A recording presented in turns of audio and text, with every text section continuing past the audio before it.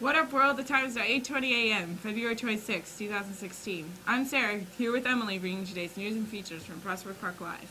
Anyone entering your classroom is late and needs a pass. If they don't have one, please head back down to the office to get one. Please rise and join Mrs. King's class for the Pledge of Allegiance. I pledge allegiance to the flag of the United States of America and to the republic for which it stands, one nation, under God, indivisible, with liberty and justice for all. Please remain standing for the school pledge. Uh, oh no. As no, wait, now. As As the school community, As a school we community. are positive, productive, and proud, and we say no to bullying. And now for today's announcements. The top seller for the PBS Gertrude Hawk fundraiser is Brianna O'Donnell with sales of two four hundred twenty-two fifty. Dollars. Yes.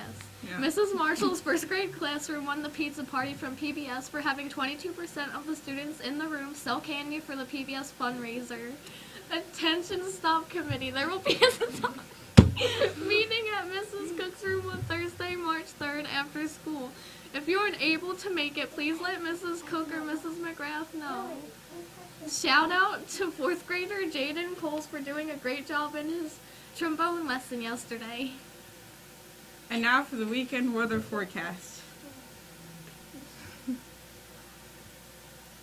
Today's forecast is mostly cloudy with a high temperature of 40 degrees and a low of 26 degrees. Saturday's forecast is partly cloudy with a high temperature of 45 degrees and a low of 34 degrees. And Sunday is sunny with a high of temperature of 60 degrees and a low of 44 degrees. That's it for our weather forecast.